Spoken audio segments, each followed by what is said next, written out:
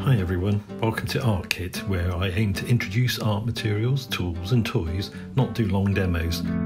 This week, when on my usual supplier's website looking for some aqua oil paint, I happened across something rather interesting Duochrome oil paint by Daniel Smith.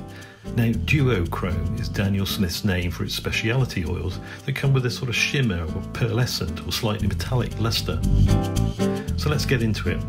On first look, the paint has quite a dry consistency, or at least well packed compared to some brands, which I find almost pour out of their tubes. It soon loosened up, even with a dry brush, and then even more so with a drop of linseed oil. I wanted to see how it handled when stretched to the limit with a lot of turps. It was fine, it didn't granulate to nothing, and I could still just see the luster even when it was turps and oil mixed together. Then it was time to use it on a piece of work. This time I was going to add Liquin medium, as I wanted to try it as a glaze. It blended it very well and I got really nice consistency I wanted the first area to cover quite thickly for a glaze and retain some of the brush marks.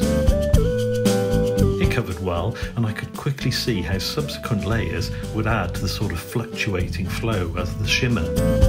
Not sure that the camera is doing it justice, but trust me, it's there.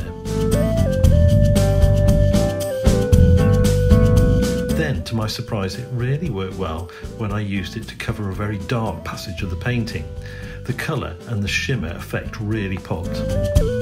This indeed is a speciality paint, but it's subtle, so don't feel that you can't introduce it into your normal workflow. I'm definitely going to enjoy exploring its potential.